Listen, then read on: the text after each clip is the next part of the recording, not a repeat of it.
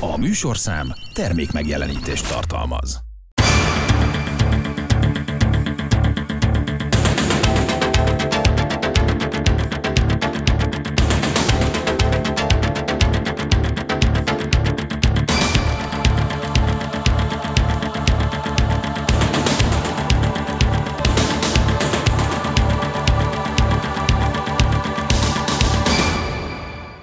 Köszöntöm Önöket! Néhány napig Fejérvár megyében tartózkodott Novák Katalin köztársasági elnök, számos helyszínre ellátogatott. A köztérben ezekről az eseményekről láthatnak egy összefoglalót, számítunk figyelmükre.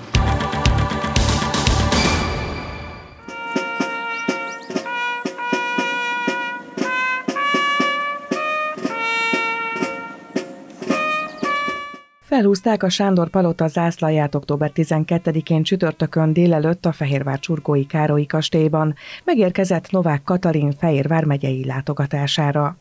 A köztársasági elnököt Károlyi György és felesége Angelika, a Vármegye országgyűlési képviselői, a Vármegyei közgyűlés elnöke, a Vármegye főispánja mellett a helyi általános iskola diákjai fogadták. Minden eseményünknek megvan az a háttere, hogy Magyarország európai kötődését, a magyar kultúrát, a magyar, a magyar országot, a magyar országot minél jobban népszerűsíteni tudjuk, úgy külföldön, mint egyébként otthon is, is, mivel Magyarországon vagyunk, a mai esemény egy magyar esemény, és az is számunkra egy nagyon nagy személyes megelégedés, hogy ezt a helyszínt olyan személyek, olyan személyiségek választják, mint a köztársasági elnök. Novák Katalin hatodik vármegyei látogatásának helyszíne Fejér, mint elmondta, szeretne minden vármegyébe eljutni személyesen. Igyekszünk kialakítani ennek a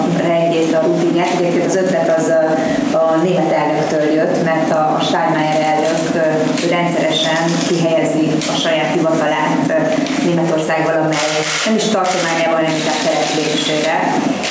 És nekem ez nagyon tetszett ez az ötlet, persze Németország vagyok, mint Magyarország, meg más berendezkedésű, de úgy gondolom, hogy Magyarországon is meg lehet ezt tenni, hogy néha kicsit vigyük a fókuszt Budapestről máshova. Novák Katalin délelőtt Fehérvár megyei vezetőkkel találkozott, hogy megbeszéljék a térség értékeit és a megoldandó problémákat. Kiemeltük a, a 13-as, 81-es, 63-as útfejlesztését, az M8-as útfejlesztést, a Verevvár Gyúró Egyek útfejlesztést, kisebb fejlesztéseket is, mint például a V4 ifjúsági központ Sukoró, vagy kiemeltük a, a Bicskei intermodális csomópontnak a fejlesztési kérdését, az M1-es autópálya fejlesztése kapcsán a régi egyes út vonatkozásában körforgó építését, és olyan fontos kérdéseket is érintettünk, mint például a Velencei tó jövője. Délután a Novák Katalin a Sugorói Református templom előtti 1848-as emlékműnél koszorút helyezett el, és a helyi lelkész körbevezetésével megtekintette a szabadságharcban fontos szerepet betöltött templomot,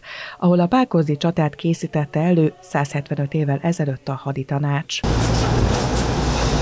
Novák Katalin Fehérvár megyei látogatása során a csütörtök délutánt a megyeszékhelyen Székesfehérváron töltötte. A nagy történelmi múltú egykori koronázó város a magyar gazdaság szempontjából is kiemelkedő jelentőségű, a térség ipari és innovációs központja. A köztársasági elnök a legnagyobb hazai vállalatcsoport a Videoton Holding egyik leány vállalatát nézte meg. Az elektromos alkatrészek beültetésével és elektromechanikai szereléssel foglalkozó Videoton SKFT néhány néhány éve több mint 8 milliárd forintból épült gyártócsarnokában zajló munkafolyamatokkal ismerkedett. Csárpalkovics Andrással, Székesfehérvár polgármesterével, valamint a vállalat vezetőivel közösen. A városnak az elmúlt évtizede és jelene is összekapcsolódik a videótonnal. Én megköszönöm Novák Katalin elnökasszonynak azt, hogy gondolt egy ilyen kezdeményezésre, hogy végigjárja a vármegyéket, és a vármegyéken belül kisebb és nagyobb településekre egyaránt eljön, és megnézni a gazdaságot, a kulturális életet, közösségi életet, oktatást, szociális területet, magyarul, amit az adott vármegye ad az ország nemzet egészének. A megyénk az különösen történelmi vonatkozásban jelentős, ez nyilván Székesfélvárra különlegesen igaz, de ezen belül a gazdasági ipari jellege is nagyon-nagyon erős, hiszen az egyik legfontosabb ipari centrum és központ a magyar gazdaság szempontjából az Fehérvár. Örülök tehát, hogy az egyik fehérvári program az éppen a gazdaságra fókuszál, és elnök asszony ezen belül pedig a videótomba jön, hogy mégiscsak az egyik leg legnagyobb múltú magyar ipari vállalat, és ráadásul teljes egészében magyar tulajdonban van, és egy nagyon korszerű új üzemét fogjuk elnök asszonyjal és a cég vezetőivel közösen megnézni, új technológiával, és emellett pedig azokkal az emberekkel, akik a mindennapokban itt dolgoznak, és miközben saját egzisztenciájukról gondoskodnak, egyébként a város fejlődéséhez is hozzájárulnak. A köztársasági elnök ezt követően az ifjabb Ocskai Gábor jégcsarnokban látogatott. A csarnoknál megemlékeztek a 33 éves korában elhunyt legendás játékosról, ifjabb Ocskai Gáborról, akinek a nevét viseli a jégcsarnok. Ezt követően számos a fehérvári jégkorongról való történetet ismerhetett meg Ocskai Gábortól és a játékosoktól is Novák Katalin. De Hári János jégkorongozótól azt is megtudhatta a köztársasági elnök, hogy hogyan kell felvenni a sportfelszerelést, hogyan öltözik be minden mérkőzésre egy jégkorongjátékos. Az a elvédő, ugye, meg a könyökvédő, és akkor eljön a mez. És utána még van ugye nem véletlen esett a választás a csapatra, hogy ők mutassák be a sportéletet Székesfehérváron. Székesfehérvár egy kiemelten sportos város, bajnokok városának is szoktuk nevezni. Nagyon sok sportágban van kiváló együttesek, közössége, csapata, vagy éppen versenyzője, de azon belül is a jégkorong az azt hiszem, hogy abszolút kötődik ehhez a városhoz és környezetéhez. Ocskai Gáboréknak köszönhetően ez a csapat hosszú-hosszú évtizedek óta folyamatosan fejlődik. Rengeteg válogatott játékost ad utánpótlásba és felnőtt csapatba egyaránt most is kiválóan szerepel az osztrák bázisú ligában, úgyhogy adta magát, hogy elnök asszony idejöjjön, pályára is lépett, és azt mondták itt a válogatott játékosok, nagyon, nagyon jó teljesítmény nyújtott. Bízom benne, hogy ő is élvezte, és azok a fiatalok is, akik az, el az utánpótlásban is tudott találkozni. Szerintem ez nekik is ad egyfajta inspirációt. Úgyhogy ez a mai program itt Székesfehérváron, ugye elnök asszony megy tovább még a Vármegye különböző településeire. Novák Katalina játékot is kipróbálta, és a csapat tagjaival jégkorongozott. A válogatott játékosokkal és az utánpótlás tagjaival is a magyar jégkorong fellegvárában. A fehérvári hoki az egyik alapköve az egész magyar jégkorongnak. Ugye a 70-es évek közepétől, mióta Ocskai Gábor Fehérvára hozta a jégkorongot, ez a sportág Fehérváron folyamatosan fejlődik. Jelenleg, jelenleg ugye a, a, a Hidrofehérvár AV 19 a Nemzetközi Ligában játszó nagy csapatunk mellett nemzet, Nemzeti Akadémiánk van, a Nemzeti Akadémia keretein belül Magyarországon egyedülálló módon a, a, a felnőtt magyar profi bajnokságban szereplő csapatot működtetünk. 300 gyerek dolgozik, illetve játszik, és remélem élvezi a hokit az akadémiánkon.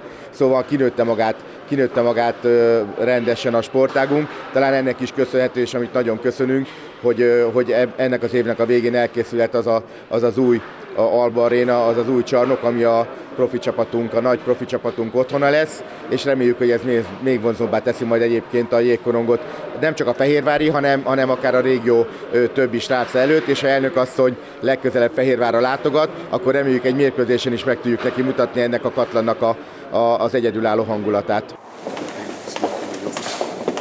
Második Fehér vármegyei látogatási napján pénteken délelőtt tábornoki kinevezéseket adott át Novák Katalin köztársasági elnök a Károlyi kastélyban. Szalai Bobrovnicki Kristóf honvédelmi miniszter, Pintér Sándor belügyminiszter, vezérezredes és Varga Mihály pénzügyminiszter jelenlétében október 23-ai hatállyal altábornagy rendfokozatban nevezte ki Kajári Ferenc vezérőrnagyot, Vezérőrnagyi rendfokozatban léptette elő Tajti Norbert dandártábornokot, Dandár tábornok rendfokozatban nevezte ki Váci Pál Imre, Drót László ezredeseket, pénzügyőr vezérőrnagy rendfokozatban nevezte ki Demeter Tamás rendőr dandártábornokot, rendőr dandártábornok rendfokozatban nevezte ki Kovács András rendőrezredest, tűzoltó dandártábornok rendfokozatban nevezte ki Fülep Zoltán tűzoltó ezredest. Egy olyan haderőt építünk, amelyik a régió egyik domináns haderejeként meghatározott tud lenni közel és távolban is, és azok, akik ezt a haderőt most vezetik, azok kiemelt felelősséggel bírnak, hiszen nehéz időket élünk, veszélyes időket élünk, és nagyon fontos az, hogy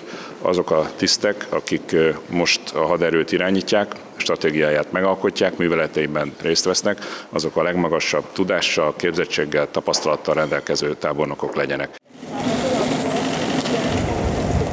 Még délelőtt Dunajvárosba is megérkezett az államfő, Fónagy János miniszterhelyettes és Fábián Gergely államtitkár társaságában a Dunaferbe látogatott. Novák Katalin az acélmű meleghenger művében megismerhette az új tulajdonos, a Liberty Steel Group képviselőit és az acélművet érintő terveket. Ezek között szerepel a zöld forradalom indítása, amely a kibocsátás csökkenését, a termelékenység növekedését célozza meg. Fónagy János elmondta, a látogatás megerősítette, hogy a Dunajvárosi vas és acélgyártást fenn kell tartani. Nagyon fontos, hogy Magyarország utolsó teljes vertikumú metalurgiai üzemének működése fennmaradjon. És mielőtt a kormány nevébe kezdek el beszélni, engedjenek meg egy teljesen magánjellegű megjegyzést.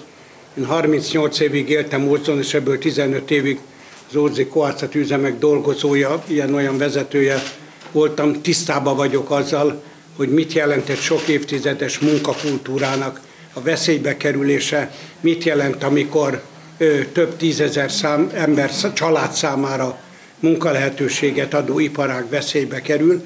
Ezért természetesen első helyre sorolva, amit képviselő is mondott, hogy az itt dolgozó közvetlenül mint egy 3500 közvetve, mint egy 12-15 ezer ember, 15 ezer család számára megélhetést nyújtó Dunai, Dunaújvárosi kohászatnak a fennmaradását a Liberty Steel aktív közreműködésével biztosítottnak látjuk. Kormány számára is ismert önök előtt a, a foglalkoztatási számok, 2010-ben 11% fölötti volt a munkanélküliség, most 3,7-3,8% gyakorlatilag szinte teljes a foglalkoztatás, tehát számunkra egy ilyen mértékű munkahelynek a veszélybe kerülése egy alapvetően fontos kormányzati feladat, amit képviselő úr kezdeményezésére, államtitkár úr segítségével és a Liberty Steel szakmai közreműködésével megoldottunk. A másik nagyon, a foglalkoztatás mellett a kormány személy szerint én is nallaton fontosnak tartom, hogy Magyarországon a, a vas és acélkohászat fennmaradjon. Ö, tudom és ismerem a pikírt megjegyzéseket a vas és acélipar országáról, de kérem szépen betonacélra minden országnak szüksége van, hengereltárúra minden országnak szüksége van, durvalemezre minden országnak szüksége van, egy ország építőiparának alapanyaggal való ellátása pont ugyanúgy hozzátartozik a szuverenitáshoz, mint az ország határainak a megőrzése, vagy a nemzeti nyelv és kultúra fenntartása.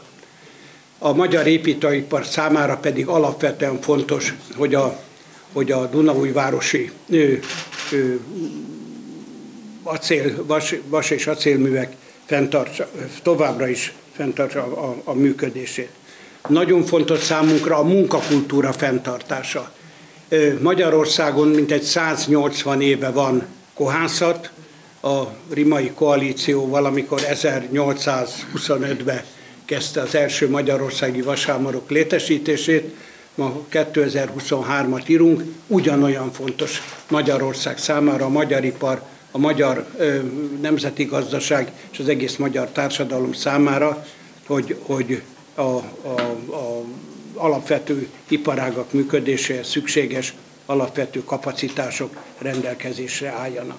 Fábián Gergely államtitkár hangsúlyozta, a zöld acélgyártáshoz a szakmai tudás jelen van a Dunafernél, és az alapanyag is hazánkban, az acélhulladék. Ebből egy millió tonna van Magyarországon. Mint mondja, örül, hogy sikerült a gyárat megmenteni, és a munkahelyek megmaradtak. A város jelentős történelmi emlékeit és kulturális értékeit felvonultató helyszíneket kereste fel Novák Katalin pénteken délután. Székesfehérvár belvárosában a Nemzeti Emlékhely a Szent István által alapított Szűz Mária prépostagi templom emlékét őrzi. Az egykori bazilika hazánk legfontosabb történelmi emlékhelyei közé tartozik, ahol öt évszázadon át koronázták királyainkat és királynéinkat. Királyi esküvők és temetkezések helyszíne volt, és itt őrizték évszázadokon át a koronát és a koronázási jelvényeket.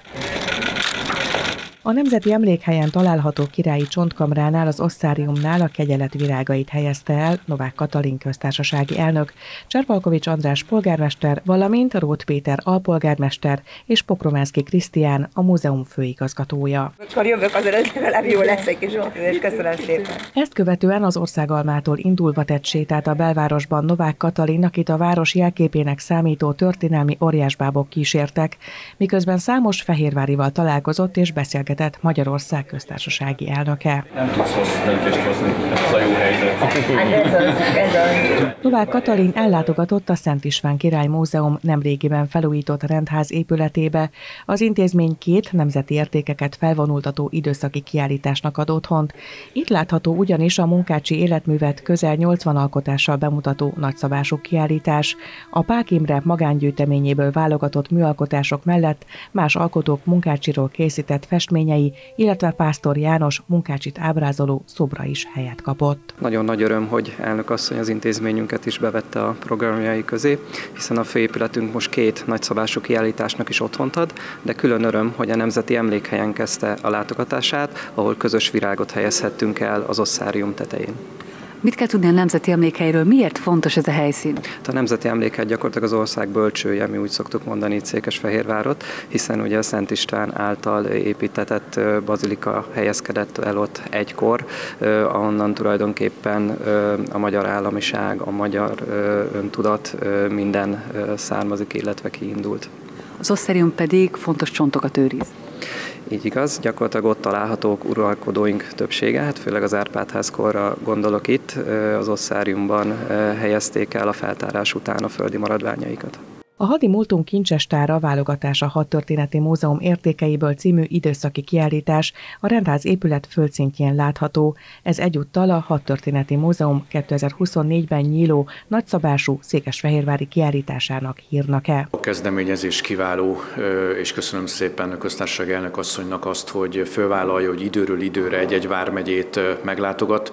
Ott több napot eltölt, megismerkezik az ott élőkkel, a települések mindennapjaival, megnézi azokat a természeti, történelmi, kulturális csodákat, amiből ez az ország áll. Örülök, hogy most Vármegyénkbe érkezett.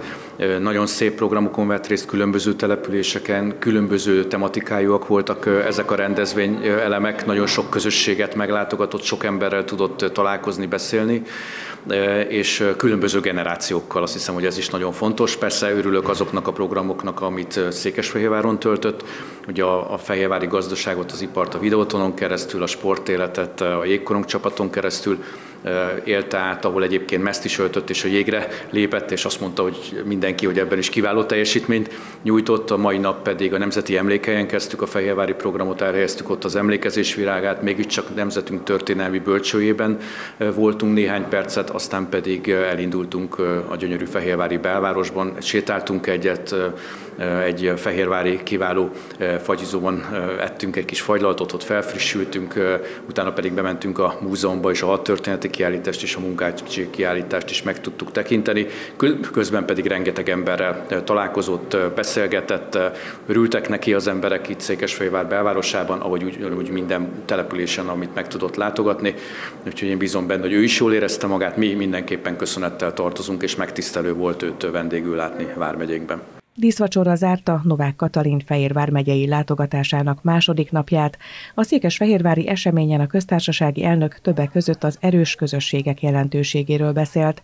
Az államfő elmondta az este, csak úgy, mint a látogatás, a találkozásokról szól, ahol az emberek a helyi értékeket is bemutathatják, de szót ejthetnek a kihívásokról és a problémákról is. Amilyen izgalmas találkozásban volt részem a mai nap során is, és olyan kedvesen marasztaltak minden helyszínen, ez az egy, óra, ami rendelkezésemre állt volna, ezt teljesen elforgat, mire ide érkeztem, úgyhogy tulajdonképpen önökkel együtt érkeztem én is ide meg a szállodába.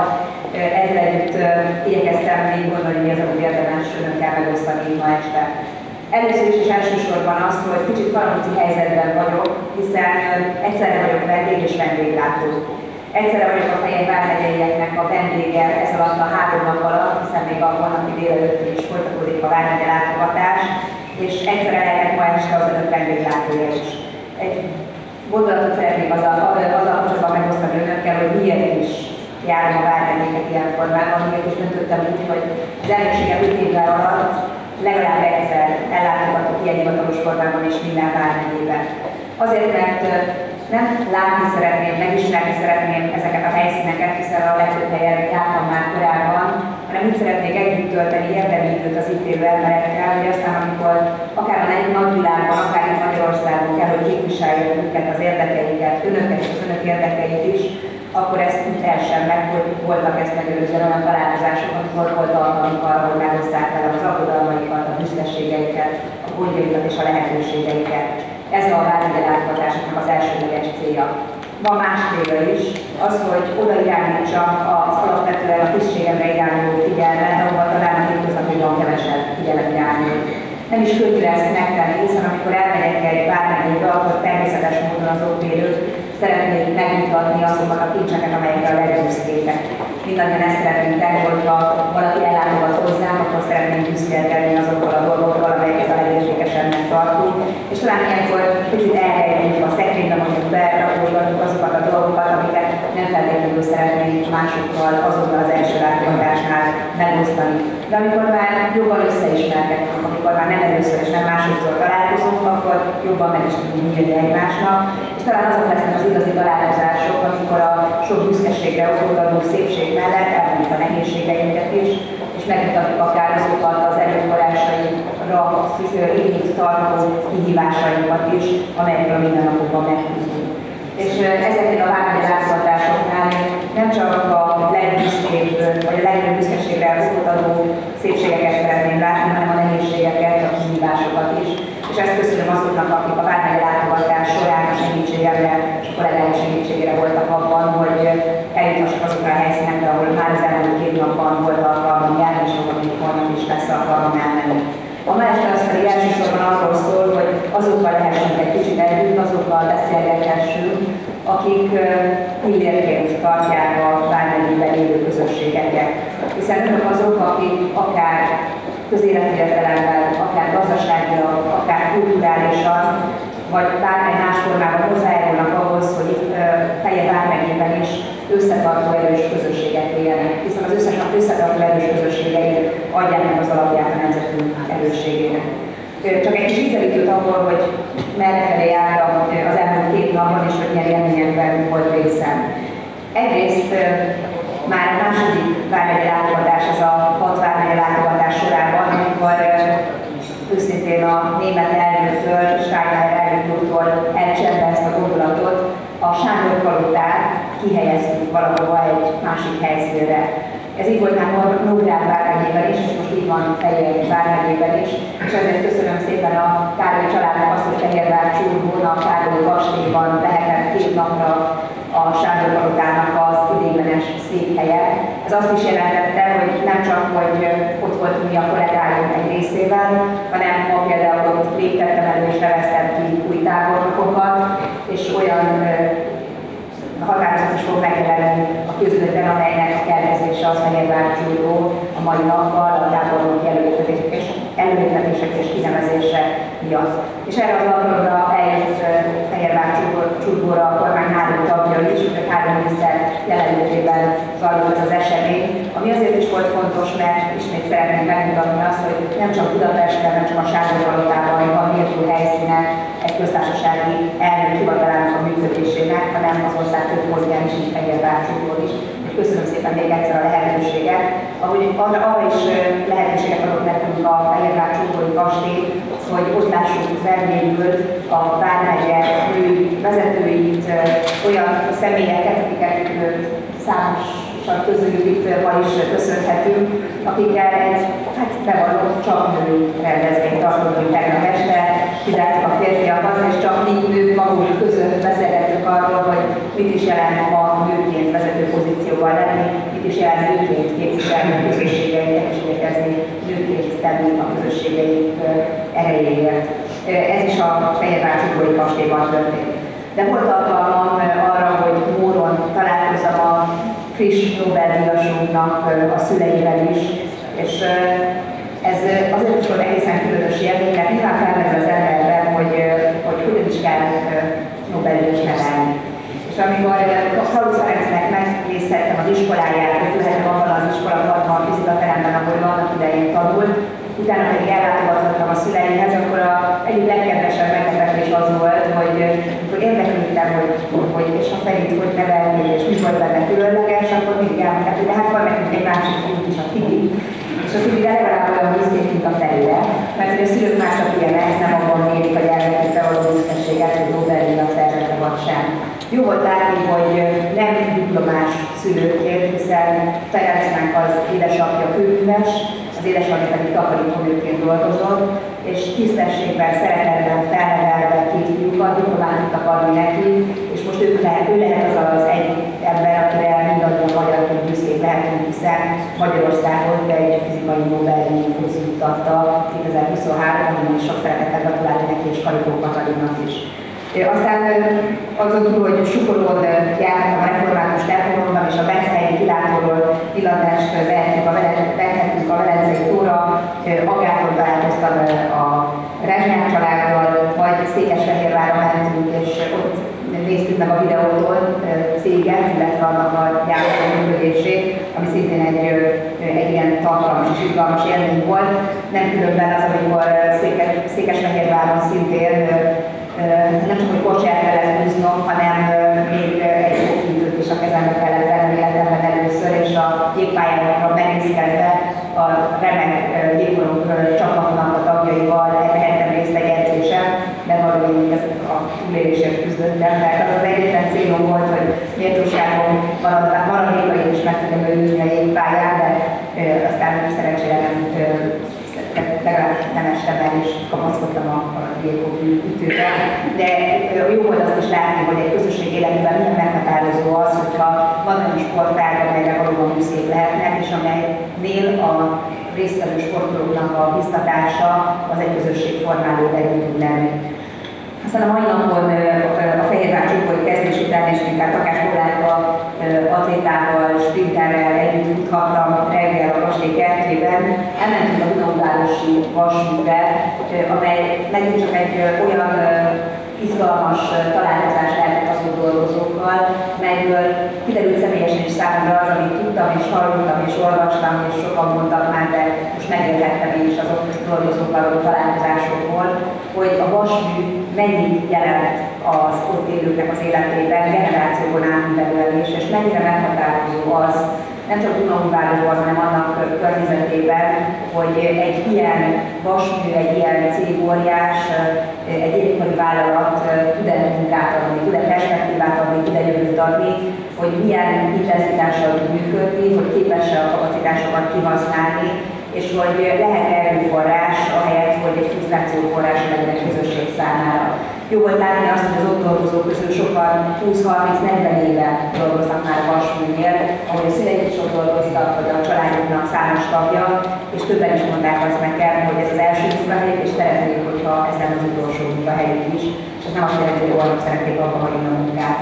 De a leginkább talán azt élveztem, hogy volt egy fiatal hölgy, 24 éves, és ő vezetett körbe a többiekkel együtt a, a vasmű egy részén, amit meglátogattunk, és ő azt mesélte nekem, hogy ő anyagmérnök és kohómérnöki diplomát hamarosan szerezni.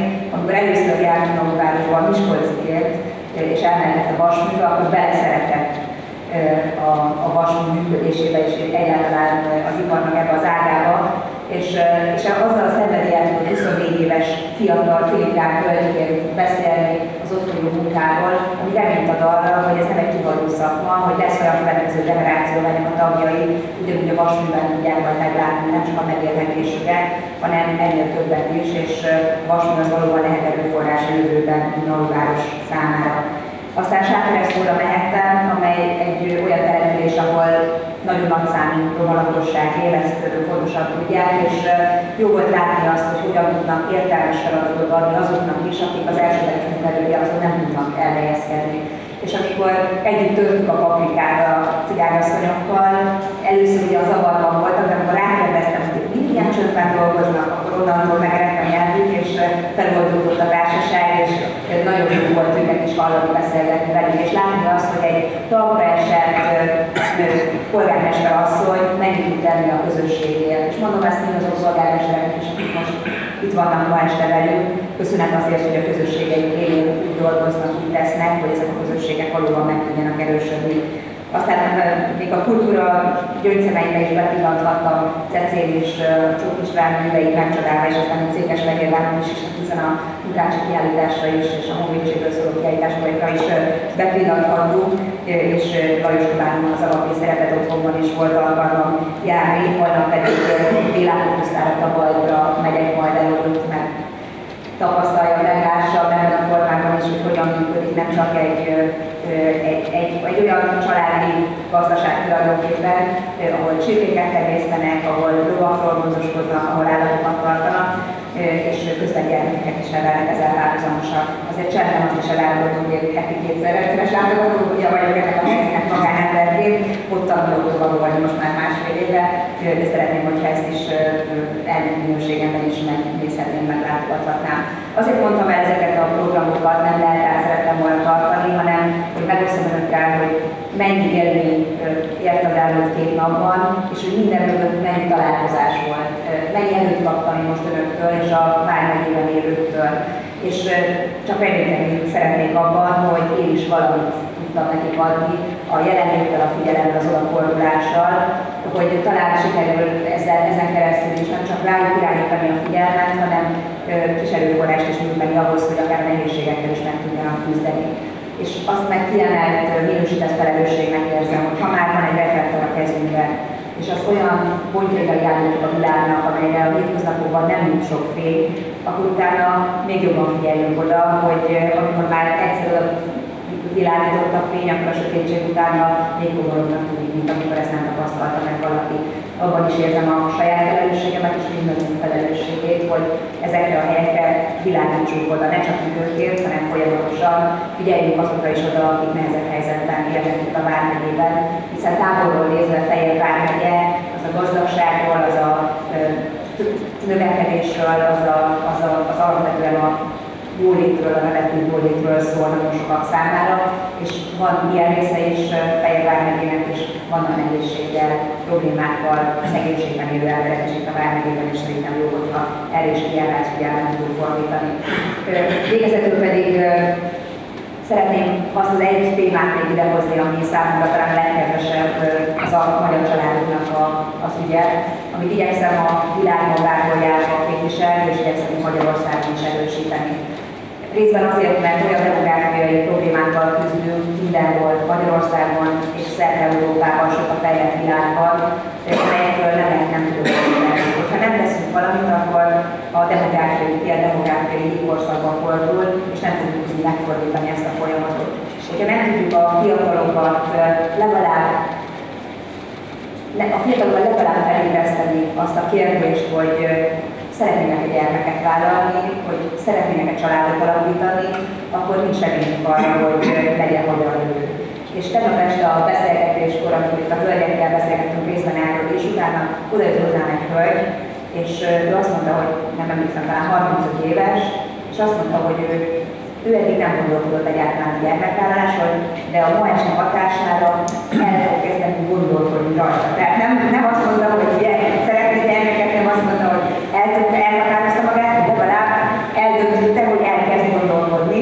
Én csak annyit kértem tőle, hogy ha elkezd gondolkodni, és esetleg pozitív döntéseit, és aztán ebből még gyermek is lesz, majd akkor szóljon azért, hogyha megszületett ez a gyermek, hiszen végeredményben ezekből a gondolatokból lesznek a gyermekeink, és ezekre a gyermekeink, gyermekekre szükségünk van.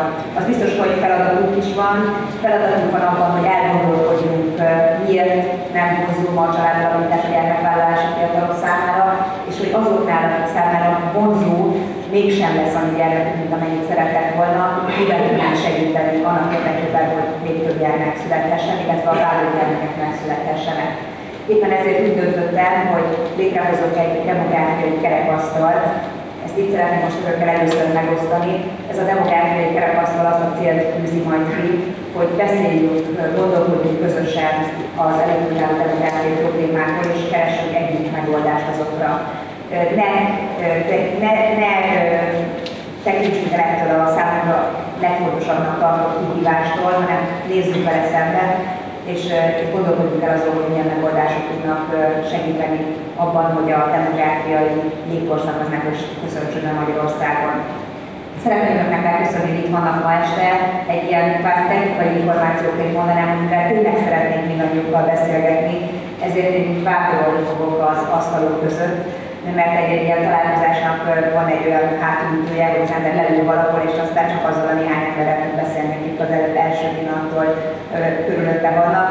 Igyekszem majd olyan helyekre ülni, hogy mindenkivel legyen alkalom legalább néhány szót váltani, hiszen önök azok, akik Fehérvár megyében a valódi olyan erőforrást jelentik, akik a döntéseket is képesek meghozni az ítéljenek érdekében, hiszen valójában az erőforrást ők jelentik, önök pedig azok, akik tehetnek annak érdekében, hogy ezt az erőforrást minél jobban használják, nem csak Fehérvár megye, hanem az egész nemzetünk javára. Ja. Lovaglással indította a szombati napot és zárta Fejér vármegyei látogatását Novák Katalin. A köztársasági elnök Tabajdon egy nagy családot látogatott meg, akik a fővároshoz közel mégis tanyasi életet élnek. A család gyermekeket nevel, lovakat tenyészt, csirkéket, juhokat tart. A lovaglásban Jármi Vince, a fiatal, tehetséges versenyző volt Novák Katalin partnere. Kedves nézőink, a köztérben Novák Katalin Fehérvár megyei látogatásáról láthattak egy összefoglalót. Köszönjük figyelmüket, viszontlátásra!